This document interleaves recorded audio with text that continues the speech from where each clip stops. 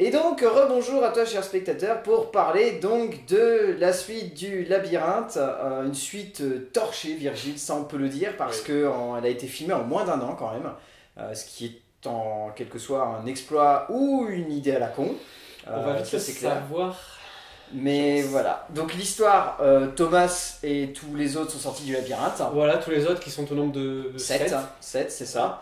Et donc ils sont sortis du labyrinthe, euh, tout va bien, et ils se font héberger par euh, ce qui semble être un groupe de résistants Exactement. qui se bat contre Wicked, et donc qui récupère tous les survivants des labyrinthes, Voilà, donc Wicked, qui est la société qui a construit le labyrinthe, qui et les a envoyés les a manipulés et pour les qui supervise. Voilà, c'est ça. Et donc en gros, voilà, et... Bon allez, on peut le dire parce que ça arrive au bout de 30 minutes. Finalement, ce groupe de résistants-là n'est pas un groupe de résistants, c'est un groupe qui travaille pour Wicked. Exactement. Et donc Thomas et toute l'équipe vont se barrer euh, du, de espèce de camp de concentration, entre guillemets, on pourrait dire, pour aller directement sur la Terre brûlée, c'est-à-dire la Terre qui est complètement décimée par euh, la Par guerre des éruptions par solaires. les éruptions solaires, voilà, et qui est aussi au proie de, des, des fondus, Les fondus, voilà, Voilà. les fameux fondus, mais on y reviendra. les fameux fondus bourguignons. c'est Bon, de toute façon, oui, on Voilà. peut spoiler, puisqu'on s'en doutait au vu de la dernière scène euh, du Ah, film, on voit euh, le professeur euh, discuter avec ses collègues. Oui, c'est Ava. qu'elle n'est pas morte. C'est Ava, ouais. Je sais plus comment elle s'appelle, ouais, elle s'appelle Ava, je crois. Elle n'est pas morte, euh, Ava Page, c'est ça? Oui, c'est ça, Ava Page. On apprend qu'elle n'est pas morte et que euh, les opérations continuent, donc on s'en doutait un petit peu. Voilà. Et justement, cette dernière scène, elle est très importante puisqu'elle permet, au tout début du film, de faire vraiment ressentir la tension, puisque nous, on se doute qu'il y a quelque chose On se doute qu'il y par rapport à ça. mais Et c'est pour ça que pendant les 30-40 premières minutes, on est vraiment dans une sur espèce un de... bon film, Oui, et on est vraiment sur une tension pal- euh, palpable, palpable. complètement. Et à partir du moment où il s'échappe euh, du centre, euh, C'est la là, cata. là c'est c'est foutu. Bah vas-y, dis ce que t'as pensé du film dans son ensemble, Virgile. alors je ne l'ai pas vu. Voilà. Par contre, je ne l'ai pas vu. J'ai pas eu le temps depuis hier, parce qu'on est le voir hier, de lire euh, le deuxième. Donc voilà, je prends vraiment le film comme il vient. Euh, C'est une belle merde. Bah, je dirais jamais ça pour un film. C'est pas possible. Je peux pas dire ça pour un film. Mais malgré tout, euh, il y a des moments, je me suis dit, est-ce que je suis en train de regarder le bon film?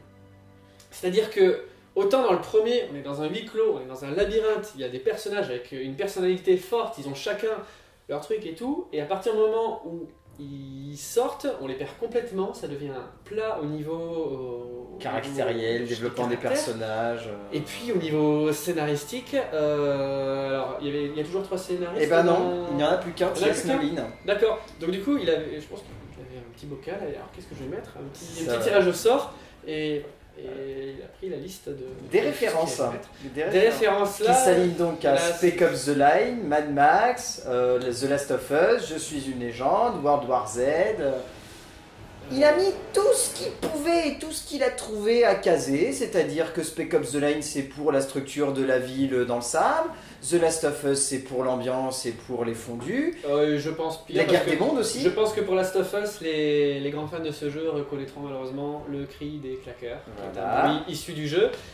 Voilà, Euh, je suis une légende pour les créatures, Voilà. qui sont exactement comme celles de Je suis une légende. La guerre des mondes pour. euh, L'espèce de truc, euh, va- le virus, Braise, Braise, qui, qui est tout rouge et qui forme vraiment l'espèce de résidu que laissaient les extraterrestres dans la guerre des mondes. Mad Max pour la tempête. Pour la tempête et, Et pour, le- le la- la- personnage de- pour le personnage de Brenda qui a le crâne à moitié rasé, enfin voilà, qui a les cheveux courts, on sent se- que c'est. J'ai beaucoup aimé Furiosa, et si on lui rasait le crâne à la jeune demoiselle Ouais, On va pas complètement lui raser le crâne, on va juste couper les cheveux courts. hein. Oui. Mais voilà, c'est un film qui. Enfin voilà, c'est- un bordel, enfin moi je vais donner mon point de vue, c'est un bordel scénaristique, c'est un film qui n'a quasiment aucun intérêt, si ce n'est celui de révéler un petit peu plus de trucs sur l'univers, et encore c'est très, très petit, ça part dans tous les sens, c'est con, c'est réducteur, les personnages sont pas approfondis du tout, Euh, on a la sensation de voir un film qui dure 3 heures alors qu'il dure que 2 heures, enfin voilà, c'est un film qui est plombant du début à la fin, et qui moi je trouve est Pas quasiment... tout à fait le début, mais euh, c'est Oui, c'est vrai, c'est vrai. On va lui donner quand même le bénéfice du doute.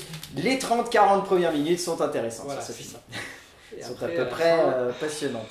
C'est ça. De toute façon, à la fin du premier labyrinthe, j'avais l'impression de me retrouver euh, à la fin de Divergente 2. Complètement. C'est exactement la même chose, c'est-à-dire qu'on quitte le huis clos et on se rend compte que. Enfin, c'est pas on se rend compte, c'est que les, les personnages découvrent l'entité supérieure qui les contrôle et on se dit, il y a une révolte là-dessous, enfin, ils vont essayer de se rebeller. C'est exactement la même trame.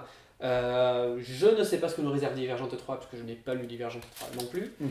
Euh, mais on- ce qui est sûr, c'est qu'à aucun moment dans le film, alors c'est peut-être voulu aussi, parce que dans le livre c'est également le cas, il n'y a aucune mention de zombies, il n'y a aucune mention Ouais, c'est vrai. de euh, Bah, on- on des sait- résistants. C'est ce que j'avais lu, ouais, on sait pas vraiment ce que c'est les, les créatures, Mm. on sait juste voilà qu'ils ont été rongés par un virus, mais à aucun moment c'est mentionné que c'est des zombies qui gueulent comme des porcs, qui courent, euh, qui sont euh, par la chair humaine. Enfin, c'est vrai que c'est pas vraiment évoqué. Soit on a juste des mecs qui sont euh, contaminés par un virus. Point, c'est tout.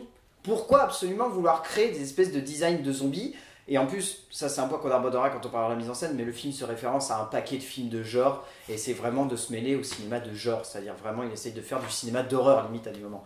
Il y a 5 ou 6 jumpscares qui sont vraiment faits pour faire croire aux, aux gens que voilà, c'est un film d'horreur, c'est un film qui fait peur. Exactement. Mais bah déjà oui, le scénario de T.S. Nolin, euh, donc qui était déjà pour scénariste sur le premier, mais il avait deux autres scénaristes pour lui filer un coup de main.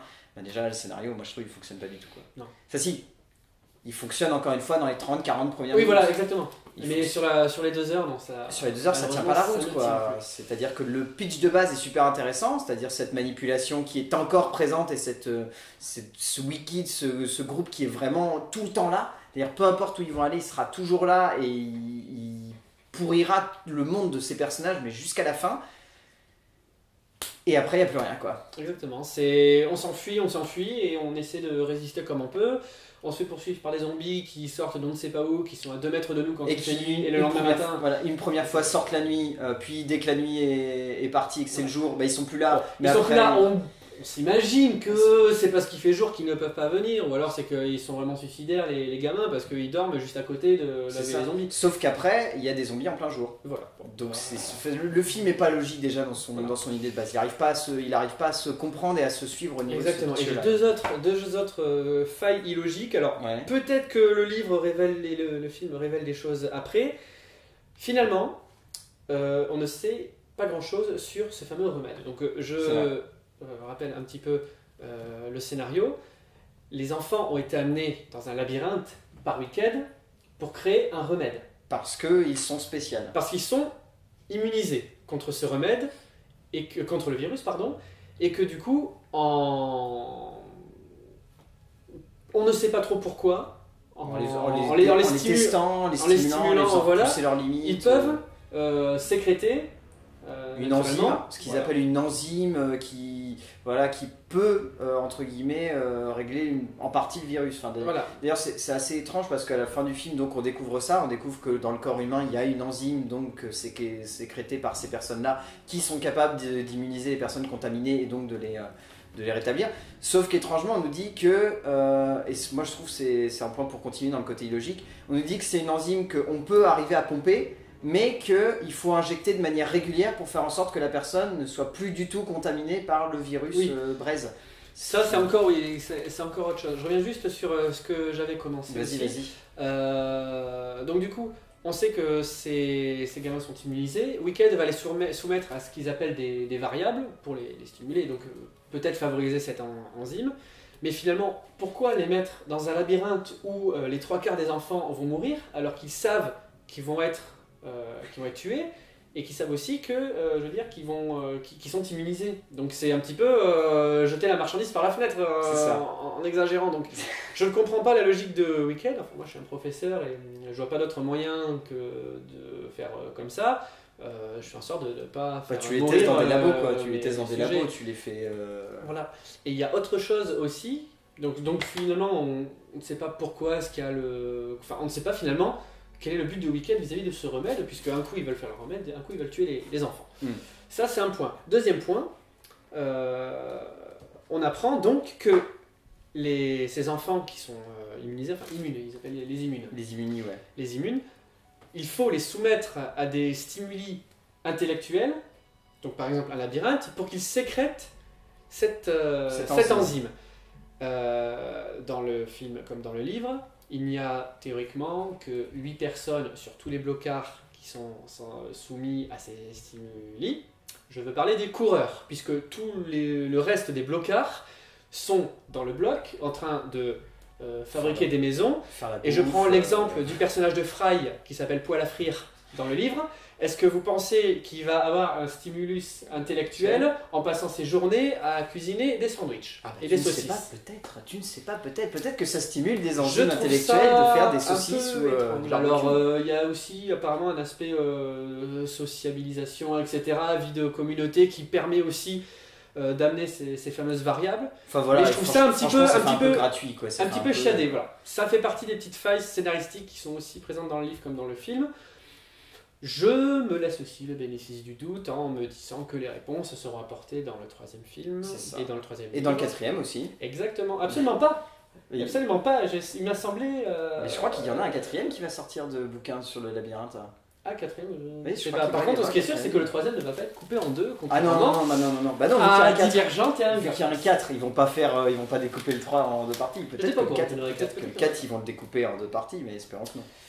Euh, Nous verrons bien. Ouais. Bah, déjà- ensuite, pour rebondir un petit peu sur la mise en scène, euh, donc c'est toujours West Ball qui est la mise en scène, Mm. ce qui en soi était un point, je trouve, rassurant, parce que c'est rare dans ce genre de, de- on va dire, de, de, de saga qu'il n'y ait pas de changement de réalisateur. C'est-à-dire que la seule fois où j'ai vu ça, c'est à partir du deuxième euh, Hunger Games où ils ont décidé de garder Francis Lawrence. Et encore, techniquement, c'est pour deux films, puisque le dernier est un, fi- est un seul film, mais découpé en deux parties. Euh, mais voilà, je trouve c'est assez intelligent d'avoir gardé West Ball à la mise en scène.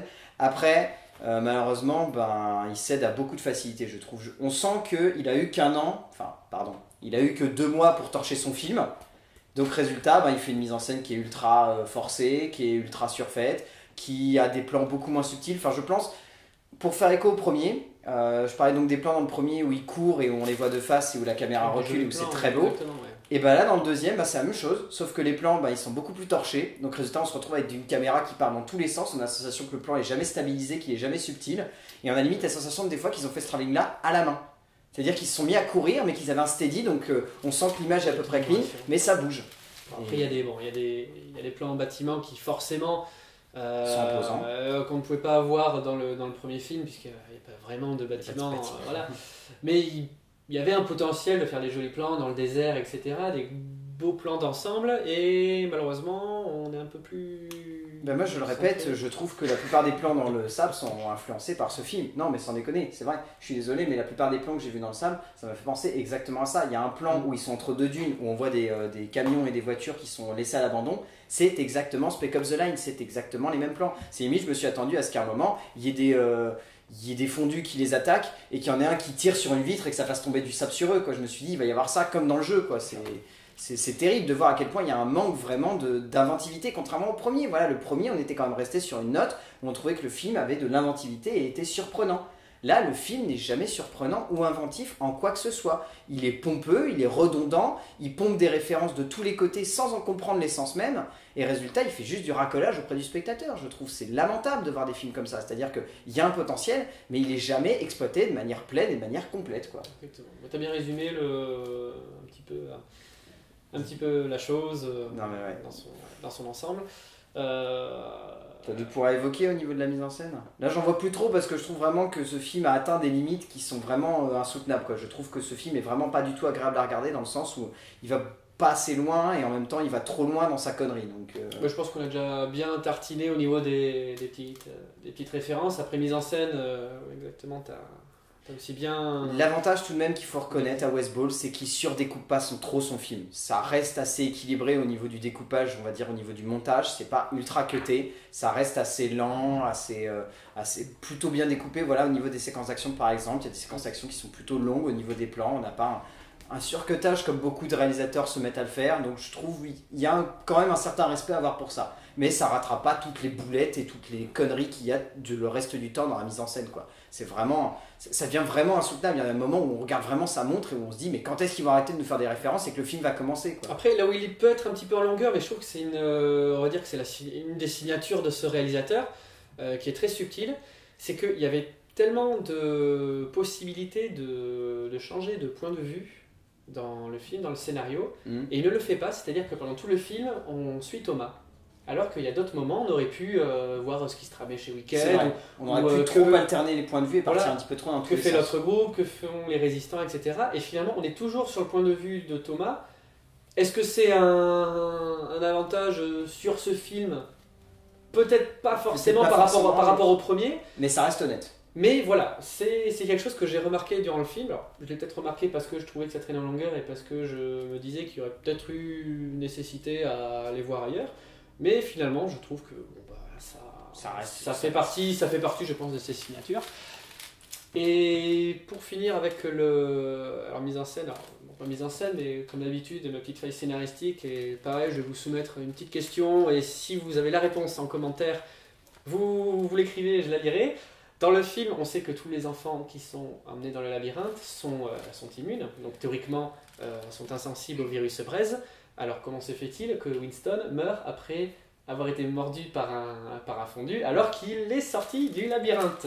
Et bah, Si vous avez la réponse, au scénariste voilà. euh, ou au réalisateur. euh, Je n'ai pas lu le problème. livre, donc si ça se trouve, il meurt euh, comme ça aussi dans le livre et on a peut-être une explication rationnelle. Hmm. J'espère.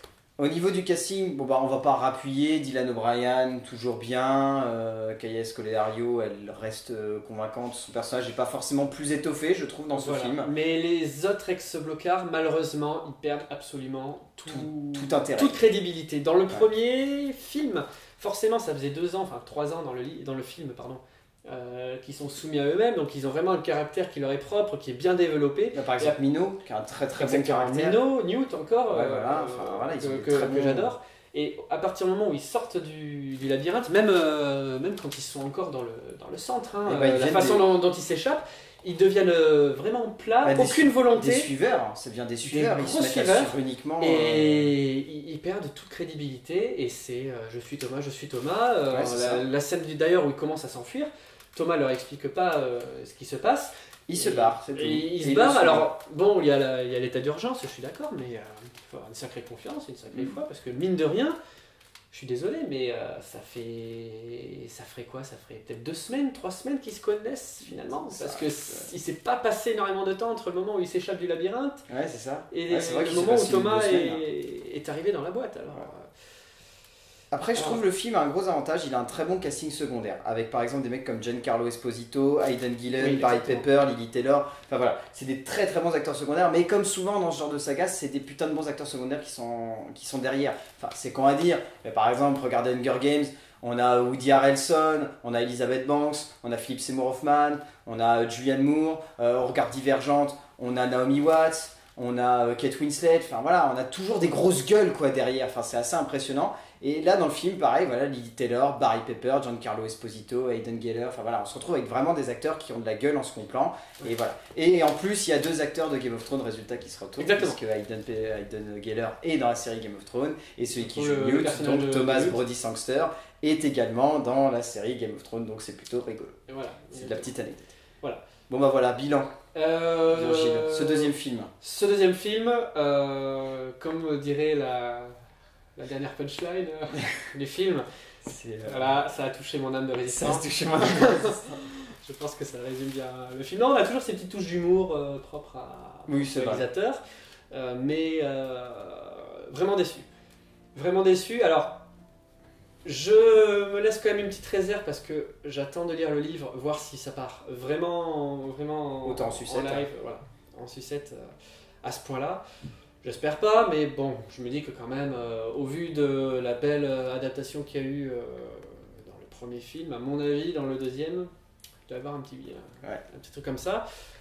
On verra. Peut-être que ça amené différemment. Peut-être que les personnages gardent, euh, gardent encore leur, euh, leur petite gueule de, de blocard. Et euh, peut-être que dans le troisième film, il y aura peut-être un petit peu plus de développement et de réflexion. Exactement. Mais il y a intérêt parce que Sinon, là, ça, ça fait va- beaucoup, sinon, ça beaucoup de failles scénaristiques et Et j'espère ça qu'il y fait beaucoup de problèmes, ouais. Non, non, Exactement. Non mais oui, pour, pour appuyer un petit peu, moi je trouve que c'est peut-être, pas forcément le pire film de l'année, mais c'est un des pires films que j'ai vu cette année, clairement. C'est un film qui ne se comprend pas, qui ne comprend pas le spectateur qu'il essaye de viser. C'est un film qui aligne trop de références et qui n'en comprend pas l'essence pour arriver à distiller ça de manière subtile. C'est un film qui est lourd, c'est un film qui est long, c'est un film qui est plutôt bien joué, et ça c'est le seul vrai avantage qu'il a, parce que sinon, tu l'as dit, il y a d'énormes problèmes scénaristiques, il y a des il y a vraiment des, des faux raccords et des incohérences qui sont monstrueuses. Et il y a une mise en scène qui est beaucoup moins subtile que dans le premier film. Donc voilà, on ressort vraiment déçu de ce deuxième long métrage. C'est un très mauvais film euh, de suite. voilà, c'est une, Voilà. c'est une très mauvaise suite. Il arrive, euh, il est euh, derrière, derrière le premier. Voilà, ça- C'est ce syndrome de la suite foirée, tout simplement. Espérons que ça se concrétise pas avec le troisième. Parce Voilà, que c'est ça. Ce serait vraiment dommage. Ouais. Bon bah voilà, merci Virgile d'être passé. Alors, Ouais, on va faire un petit peu de pub quand même parce que tu ne sois pas passé pour rien. Donc tu es auteur, tu as déjà publié deux romans. Oui. Alors deux romans, ouais. Deux romans. une- Alors en fait, c'est vraiment euh, une suite, une suite de romans que j'écris depuis, euh, depuis quelques années, depuis presque, presque 9 ans. Euh, donc le premier est sorti il y a deux ans, le deuxième l'année dernière, et du coup, euh, pour permettre au lecteur de, de pouvoir commencer l'aventure, j'ai décidé de regrouper les deux, les deux livres en un seul. Livre que vous avez ici, je t'en prie, C'est toujours bien de Voilà. montrer. donc, si vous avez envie de commencer l'aventure euh, doucement, vous avez Le Petit Pavé et son grand frère, donc euh, Le Secret de l'Alliance, tome 1 et tome 2. Et si jamais vous avez envie de vous jeter dans le gros, vous avez Le Pavé, Le Grand Frère, avec, euh, avec quelques, quelques textes euh, inédits, des illustrations euh, inédites également. Euh, voilà, si le médiéval euh, fantastique, l'heroic fantasy, euh, c'est votre dada, si apprendre, l'acheter. euh, si apprendre des mots euh, compliqués et inventés ne vous fait pas peur, eh bien, euh, je ne peux que vous conseiller ce livre. Après, Eh ben oui, oui, oui, on le conseille. Donc on mettra le lien dans la description quand même pour que vous puissiez aller jeter un petit coup d'œil. Il y a un très beau site internet en plus. Oui. Je suis déjà allé y faire un tour, c'est vraiment très très bien. Donc ouais, je te remercie d'avoir participé à cette série de vidéos sur le labyrinthe. Merci on te reverra sûrement le résultat pour le troisième. exactement. Ça sera rigolo. Euh, bah, D'ici là, je vais vous dire d'aller voir plein de films parce que c'est bien d'aller voir des films. Et bien sûr, on se reverra pour parler de films, euh, espérons-le, meilleurs évidemment. Allez, à plus Salutations